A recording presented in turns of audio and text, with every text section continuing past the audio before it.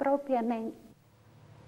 Luciano, ti è mai capitato di essere testimone diretto o indiretto appunto di questo fenomeno della bilocazione? Sì, mi è accaduto e forse credo che sia la prima volta che io lo dico, perché penso che, che sia giusto farlo. Io ero un ragazzo appunto ancora, è stato subito dopo la guarigione di mia cugina e a un certo punto a Roma ehm, io dormivo con mio fratello, era la classica stanza di due fratelli con no, i due lettini e il comodino al centro e vediamo tutti e due la porta aprirsi eh, con no, relativi rumori di passi eccetera e io vedo proprio nettamente la, la sagoma di Natuzza che si avvicina al letto e caccio un urlo, lo sto saltando verso mio fratello il quale dice da quando vai dalla pazza mh, succedono queste cose strane, però lui non l'aveva vista, quindi io mi ero convinto che la suggestione e anche il miracolo, insomma la guarigione prodigiosa di, di, di mia cugina avesse eh, indotto la mia immaginazione a vedere poi i rumori, altre cose. Fatto sta che all'estate io vado realmente in Calabria, in Siria la vedo uscire da una chiesetta eh, e lei mi fa segno di fermarmi, io mi fermo con la macchina e corro verso lei, lei senza neanche girarti piano che ti batte troppo il cuoricino, mi dice vieni a darmi un bacio.